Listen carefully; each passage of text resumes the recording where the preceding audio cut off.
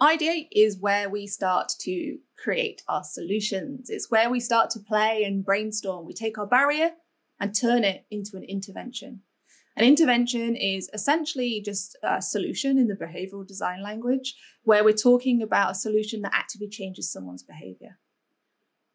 We pull all the brainstorming techniques and approaches from design thinking, but this isn't normal ideation. This is behavior backed ideation, which means that we are going to take a deep dive into behavioral science. I'm not going to sugarcoat it. It's going to feel different and it might feel a little bit difficult, but we're going to make the steps simpler. And we're going to use a process and a method called the behavior change wheel, which was created from 19 behavior change frameworks by Professor Michie and team to take people from diagnostic to intervention. And we've already started using it. COM-B, if you remember from Reacts of audience, is at the core of the behavior change wheel, which means you've already taken one step in, so we may as well carry on. Now, what's unique about the behavior change wheel is it's self selecting. So the insight from COM-B will self select the next bit which is called intervention function.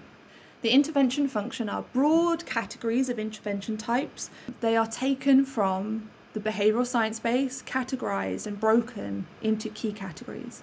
So these are things like incentivization and persuasion. And what you'll do is you'll use your insight from COM-B for the barrier that you've identified and start to self-select the intervention function. Once you've selected the intervention function, you can then self-select the next stage, which are behavior change techniques. And behaviour change techniques are 93 techniques from behavioural science interventions that are reliable and work. This means the entire process is so much simpler than you could have thought it was going to be. And in actual fact, all you'll do is select maybe five out of five or six, depending on your intervention function, and then start making a solution of them. Over Ideate, we will use the behaviour change wheel process. I've broken it down into individual little steps and paired it with either a template or an activity to help you. So look out to download them as you go. Good luck!